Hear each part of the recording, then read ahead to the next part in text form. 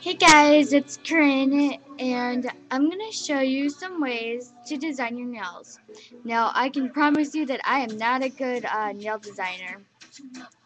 Um, I don't think, I have not done my nails since two weeks ago. so, I think my talent has worn down a lot, a lot. Um, I should, I'm to ask Brooke to see if she can make another one, make one for me. But for now, I'm to just use this video. Okay, so these are the colors that I used.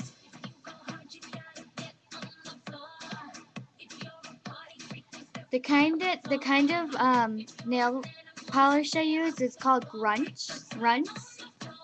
It's a kind of candy and it smells good after it dries up. This one is supposed to smell like banana. This one is supposed to smell like strawberry. This one is supposed to smell like grape. This one is supposed to smell like green apple. This one is supposed to smell like blue raspberry.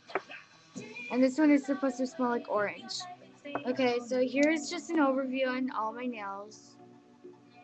Here.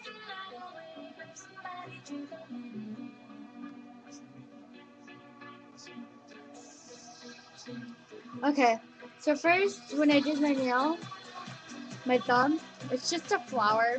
It's very sloppy. The two colors that I used is pink and yellow.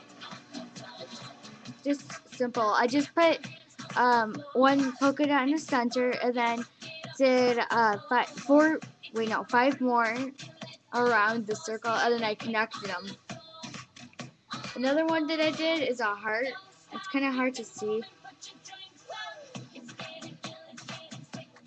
I guess you could kind of see it.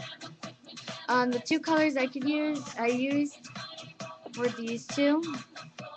And all I did is grab the brush, brush, and did it this way, this way, and then I did one this way. So yeah, my nails were really dirty and stuff. I need to clean my, wash my hands because the nail polish got all over my hands. um, another one I did was just plain polka dots on my middle finger. You can make them thick or thin. I did mine thin. These are the two colors that I used. You don't have to use the two colors that I had. Um, yeah, I just put dots all over it. Um, this one is really hard to see. I'm sorry but like I did kind of like diagonally I did two colors. I did two colors diagonally. See like here's the orange and then here's the pink. I use these two colors. And then my pinky nail I tried to do plaid but it messed up too I use these two colors.